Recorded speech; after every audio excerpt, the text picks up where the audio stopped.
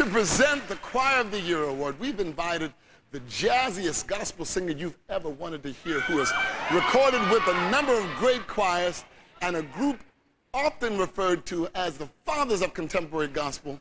Welcome the sensational Kim Burrell and Rance Allen Group.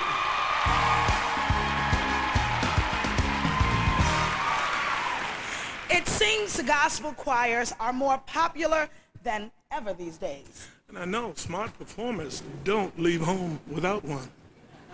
Right. And this year's nominees for Choir of the Year are among the best. The nominees are John P. Kee and New Life, Blessed by Association. Hezekiah Walker and the Love Fellowship Choir, Family Affair 2, live at Radio City Music Hall. Bishop Larry Trotter presents the Sweet Holy Spirit Choir, Next Dimension. Full Gospel Baptist Church Fellowship Women's Mass Choir, Daughters of the Promise.